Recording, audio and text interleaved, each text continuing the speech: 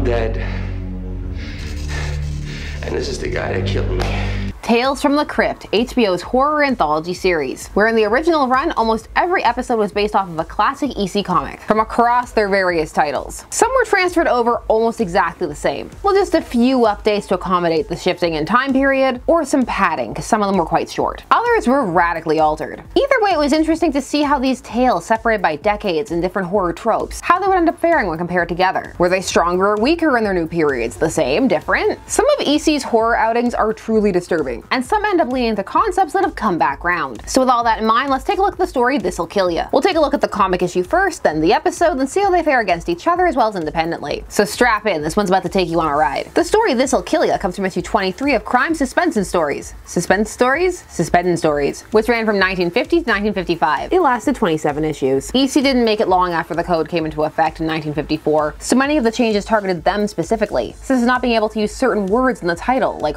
horror. But this series years later would all be reprinted. Issue 23 comes to us from 1954, and our tale in question is the first, and is apparently written by, wait for it, you've heard the name before if you've been here a while, Otto Binder. Binder has a reputation for just going hard with certain ideas. Whatever strikes his fancy. Superman's a lion, why not? Supergirl's dating her pet horse who's really a centaur trapped in the body of the horse, why not? But this story has a really big dark humor streak, so it's interesting to read it from that perspective. We also need to add a little tiny note here if it is Binder. I found it's Binder on several sources, but it's a bit hard to track certain things in the Golden Age. The episode is later adapted on Tales from the Crypt, the credit goes to publisher William M. Gaines, who is the crime suspense and stories publisher. He also wrote some of the stories, just putting that out there. It's out there in the ether. The art in this is by Reed Crandall, as are the inks, and the colors are by Marie Severin. Our cover is by George Evans, and it is definitely one that would have been complained about at the hearings, as it featured a woman being murdered in a boat on it. As far as EC covers go, it's pretty tame. It's well done. The emotions really come through, and I really like the inky blackness and ripple details in the water. It elicits a reaction, that's for sure. But if the magazine is called Crime Suspense and Stories, suspense stories, suspense. I don't know why. The fact that it's just that end there, it's making me want to pronounce it differently. So much suspense, you can't even get the word out. This story has quite the intro. It was a chill, blustering night at the end of March when Victor Gatling dragged the body into the police station.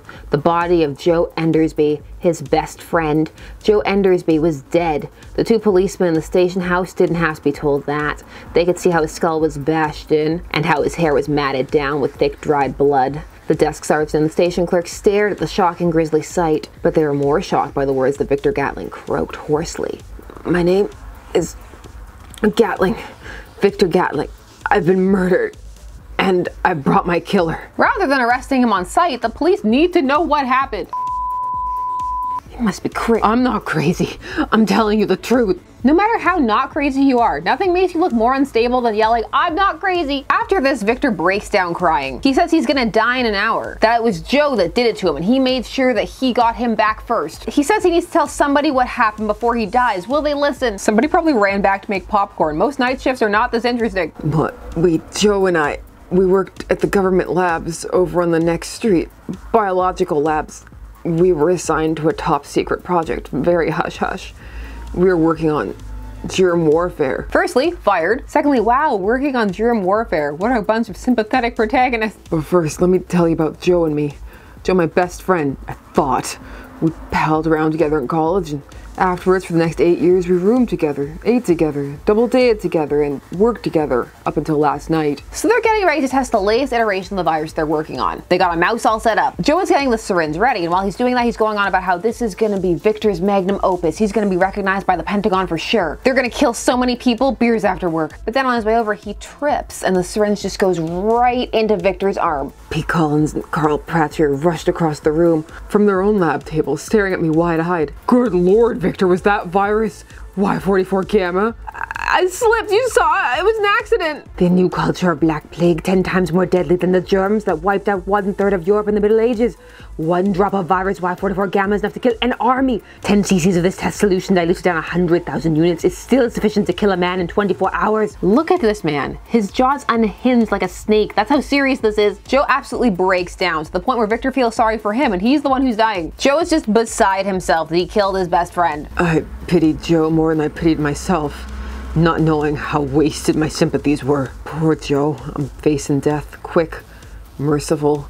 He's facing a lifetime of torture. Really, dying by something 10 times more deadly than the bubonic plague. That doesn't sound like it'll be peaceful or merciful, and you have to wait several hours and you know it's coming. So with no hope in sight, Victor starts walking home. He's just slowly walking, taking in the sights, trying to come to the realization that he's not going to get to experience so many things. He's seeing people out there falling in love, having parties, just living their lives, and eventually he breaks down. No, I don't want to die, not yet. Why must I die? Why did it have to happen this way? Why? But then he comes to a realization. He doesn't want to waste his final hours. He's going to spend them with his favorite person, Joe. It helped. I, I cried it out. After about an hour, I was purged of self pity. I went on towards home more calmly. Then my footsteps quickened with a new, a wonderful thought.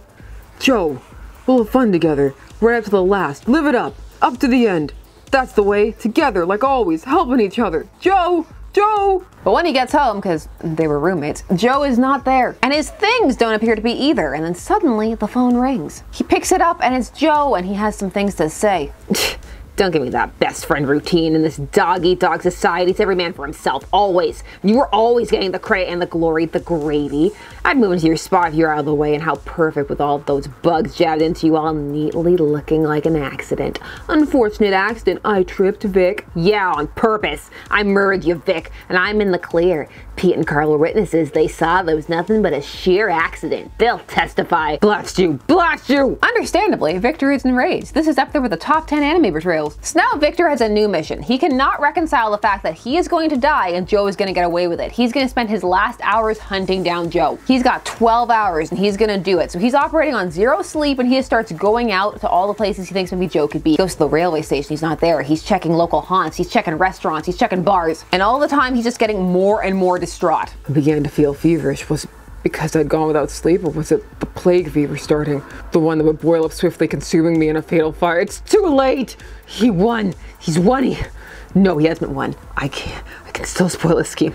I'll smash the lab, ruin eight years of work. He'll take my spot all right. Disgrace, incompetence, waste. Crazed at this point, he decides that the least he can do is destroy his legacy. Then Joe will get nothing. We're not going to think about the morality of what they're doing. Don't think about it, because this comic doesn't want you to. Or it might actually, in a kind of extra layer of dark humor. But for the most part, this is about Joe and Victor. Mostly Victor, about Victor's feelings. When he gets to the lab, he stuns see Joe there, just working. So he sneaks up behind him and grabs a microscope. And he just lays into him. Joe says, wait, he can explain, but it's too late. Over and over until his head's pulverized. Until my arms grew weary and the microscope was stained scarlet. The figure on the floor was deathly still. You killed me, Joe. But you died ahead of me. That helps a little. This leads us to where we came in. The police decide to call an ambulance for Vic, even though he said he's dying. And then they go through Joe's pockets and they find something and they're just horrified. And so they pass it on to Vic. Dear Vic, if you read this letter first, it will mean you came back to the lab to wreck the joint in anger, and I've handed it to you. There's another waiting at home too. This explains why you didn't die. I just couldn't resist with our work so grim. We need laughs. Pete and Carl played along, of course. The hype had plain old distilled water in it, kid. So if you still haven't realized what day it is, April Fool. It was just a prank, bro. Biological germ warfare prank gone sexual.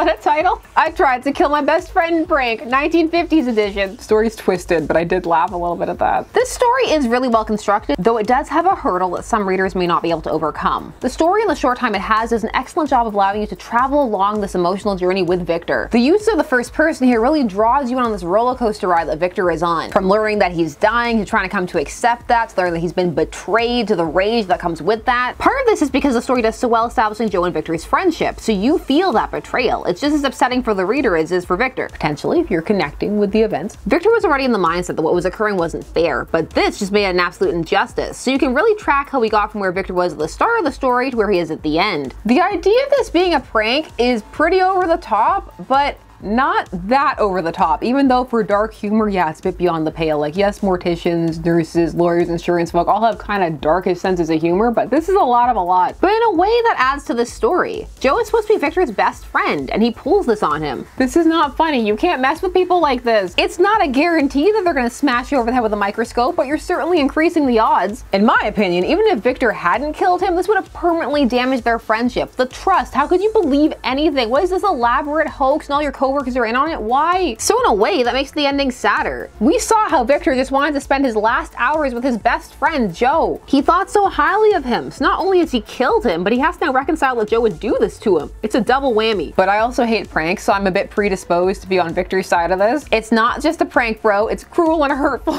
The thing is, there is that element looming over the story that these are scientists engaged in biological warfare, and that may make it difficult for some to care at all about Joe and Victor's plight. Oh, boo-hoo, gone before they could perfect a deadlier version of the plague. Although again, their profession could be part of the joke, like this kind of meta layer of joke of, oh well, nothing was lost. This joke may have layers, or I may be reading too much into it. I probably am. Whether I am or not though, this is a strong story. It builds up well, has a solid and twisty payoff as these comics enjoyed, and leaves you feeling something. Be it uncomfortable, amused, unsympathetic. That ending, it's a gut punch. Happy April Fools! So overall, this story has some strong moments to pull from, so it's understandable why it would have been one of the stories chosen to be adapted on Tales from the Crypt. So let's see how this fares on television in 1992. In season 4, episode 3's outing the same name. This was written slash adapted by A.L. Katz and Gilbert Adler. It was directed by Robert Longo. We have our usual opening by the Crypt Keeper, and a custom cover for the story more in keeping with this version, but still in that EC classic style. The opening is the same, but rather than narration, we have a much more evocative and visceral sequence. We see our protagonist, this time named George Gatlin, rather than Victor Gatling, dragging a corpse from the boot of its car to the police station. And it's really brutal. All the things that they describe in that narration box, they show. So you see the blood trail, you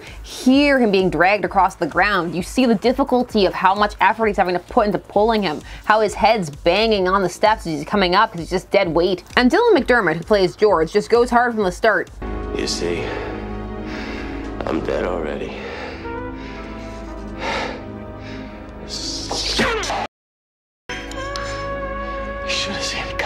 Everybody in this is gonna have so much scenery. Scenery for all. With that police station cold open out of the way, now it's time to flash back. So when we get back to the past, we spend a lot of time establishing that George is a jerk. He's fast talking and he's sleazy. He's an on again, off again thing going with one of the lab workers, Sophie, and has a fraught relationship with her coworker, Pack Brightman, whose name he always over enunciates. Let me, tell you something, Professor Brightman. George is diabetic and he keeps his insulin on the same shelf where they keep the material that they're working on, the highly dangerous material, because he's not the brightest. He also regularly has Sophie give him his injections instead of doing them himself because it's established he has a fear of needles. That's not in her job description. Uh, I hate needles. Besides, I love the thought of a beautiful woman causing me intense physical pain.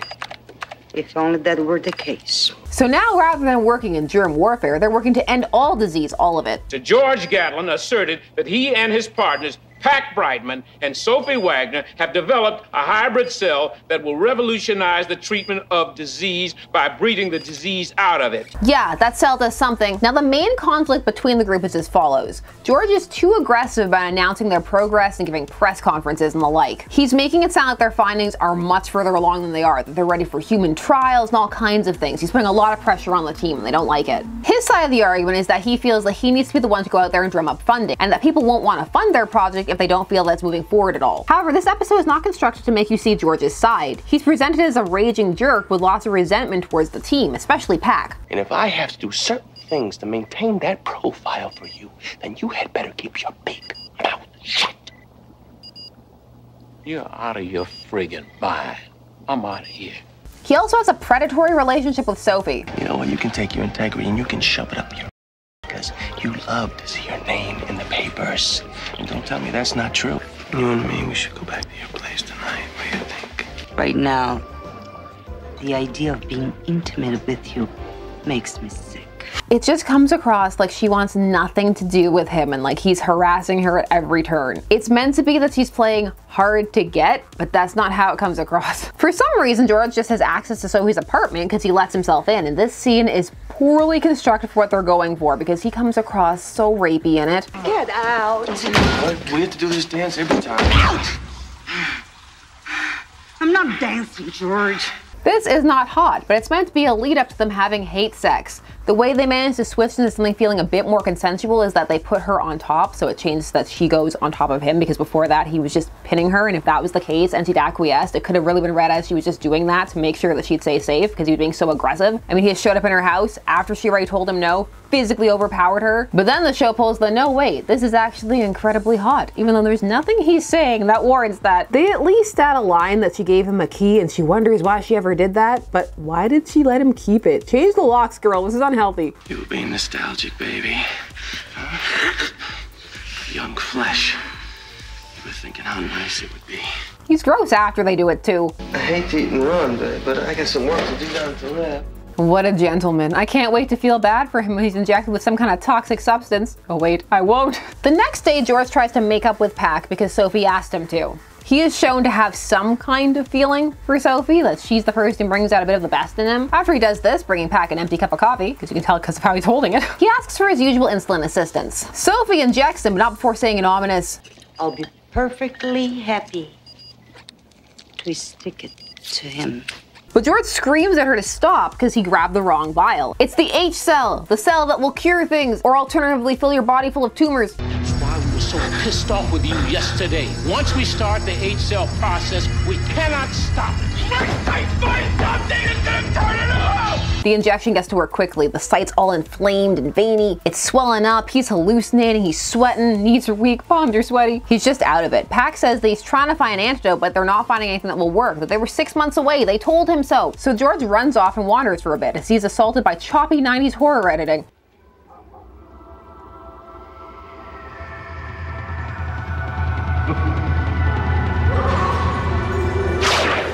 He ends up at the local bar, which is one that him and his colleagues frequent. There he learns from the bartender that Sophie and Pack were in there earlier and that they appeared to be celebrating something. He compiles this together in his already addled mind with the fact that he was trying to call Sophie and couldn't get a hold of her. So in his disoriented state, he's starting to try and put some things together. So he goes to Sophie's house and there he overhears a call on her answering machine. I'm still feeling guilty as hell about George. With his insulin and all. I'm not saying you weren't right. I think it had to be done, but. Shit. Call me, okay? Or better yet, why don't you meet me at the lab? So he figures they're trying to take him out. So he goes to the lab, and this time instead of a microscope, we have a baseball bat. And this scene goes hard. I actually wasn't sure if I was gonna be able to show it. If you're seeing it, it's because YouTube said yes.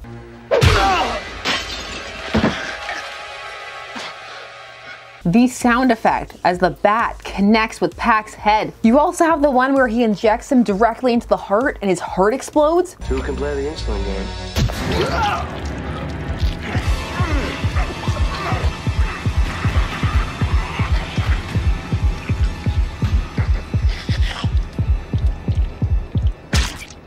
Oof. Just, that's a lot. Brava. So we're back at the opening now, and Sophie arrives at the police station. And she screams at George, there's something wrong with him. They just doctored his insulin to teach him a lesson. What are you, what are you talking about? What, what, are you, what are you saying?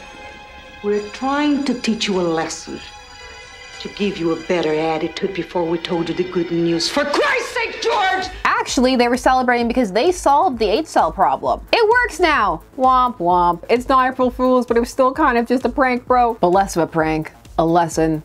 Poor Pack, he was the most likable character. He was played by Cleavon Little, and this was his last acting performance. This episode is very much in the groove of the schlocky horror vibe with hard R elements where Tales of the Crypt made its home. The emphasis is more on that ironic twist on character development, and it does well to lead up to that. The story does a good job in presenting the concept that George really could have been injected with the H cell, as silly as it made him seem keeping his insulin there. The characters have poor relationships, so you can buy that they want to kill him, or that it was an accident. But on the whole, it falls down a little bit, because it's very hard to feel sympathetic towards George. And that's saying something, because his comic counterpart was trying to make the bubonic plague more deadly. But that felt more abstract because in the story itself, Victor was presented as a nice person that was kind of happening in the background. Here you get to spend a lot of time seeing that George just jerk, but the co-workers are not of the highest caliber in either version. Some of us care about our integrity, you know? But not enough to not poison a man to teach him a lesson. So at this point, since I already started doing it a little, let's start comparing the two outings. The change in profession makes sense. It's hard to emphasize with biological warfare than with scientists trying to cure all disease with their two-person team. But this television adaptation may do too much padding. We spend most of the episode setting up that George is an unlikable jerk before he's injected at 15 minutes in, which is over half the episode because one has to remember they also had to have space for ad breaks. That takes it down to 26. But then also you have to take away the intro and outro with the Crypt Keeper and also the credits. So most of this is dedicated to look at George. Why won't he let them do their research properly? As a result, there isn't much breathing room given to him after he's injected to go from accepting his death to murdering Pack. One of the episode's strengths is you do see George getting sicker, so there's a bit more pressure on the whole he's dying element. But on the other hand, we see him hallucinating, so we know he's not in his right mind. Whereas in the comic, we see that descent to desperation that Victor is driven to. Each version leaves them addled, but Victor's leaves him a bit more in control of his actions overall. The comic tries to get you into Victor's headspace, maybe even get you to a yeah, he had it coming, so the reader can be as surprised as Victor at the end. The relationships on Tales from the Crypt are so fraught in the episode that it's not shocking that they did this to him, and it wouldn't have been if they actually killed him either. So in the comic, the best friend relationship is utilized to a bit stronger in effect for both reveals. George's anger in the episode also feels misdirected. It was Sophie who injected him, and based on that telephone message was also the mastermind behind the plan. It was Sophie he was sleeping with. It feels like if they were going for maximum emotional impact, since some part of him did like her and did try and do a bit better for her, and it was presented that for some reason she kind of liked him a little bit, then he should have killed her and Pac should have been the one bursting into the police station. The way the episode plays out feels familiar. It's very much your standard anthology ending of the time. See, if he'd had more chill, things would have worked out differently, but they didn't work out because this was the Outer Limits slash Tales from the Crypt slash all the other anthologies from the time. Also, side note, this is just me. I get a very visceral reaction to them messing with his medication, messing with his insulin. Because the rationale is that at the end of the day, he was right, and they did figure out solutions to their problem in the time frame he pitched, and they didn't want him to have a big head. Some of us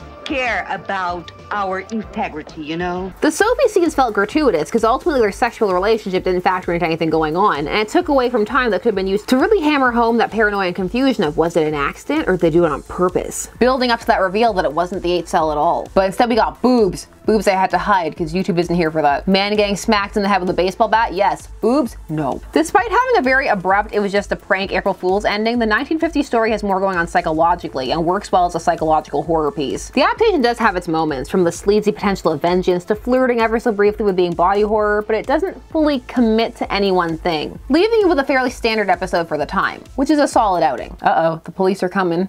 They're coming for George. wee woo, wee woo, wee woo. It definitely takes advantage of the medium though. Some of the things you do there you just can't do in the comics. Just let's hear that heart explode again. But those are just my thoughts and I want to hear yours. Do you disagree? Think the adaptation is the stronger of the two? Think it actually has some deep character work going on? Do you love both for different reasons? Hate both for different reasons? Meh. Do you like pranks? Was this prank a step too far in either version? Any other Tales from the Crypt episodes you'd like to see compared this way? Let me know down below. While you're down there, please do all the YouTube things. Like, share, comment, subscribe, and hit the bell notification so you never miss a vid. Thanks so much for taking some time today to spend discussing comics with me. I always appreciate it. I will see you again soon. Bye-bye.